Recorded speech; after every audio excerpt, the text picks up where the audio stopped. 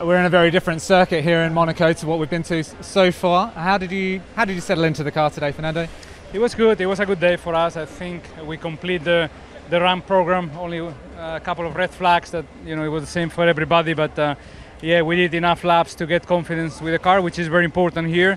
Getting into the rhythm of the weekend, and uh, yeah, the car felt good, easy to drive, which is what you you would expect in in this uh, kind of circuit. So I'm happy.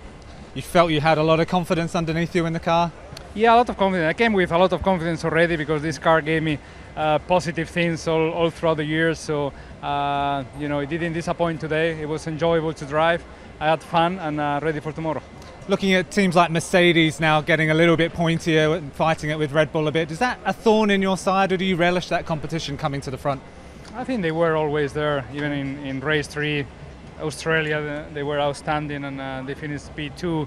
Um, yeah, so I think it's going to be all, all through the season up and downs for everybody. Uh, so we have to be just consistent, try to deliver every weekend, uh, maximizing the points available, knowing and accepting that sometimes we will be quicker than them, sometimes we will be slower, and uh, we still need to, to make points. And the obvious question can you take pole in Monaco 2023? Let's see, I think tomorrow everything is to play, but we should be one of the candidates, yes.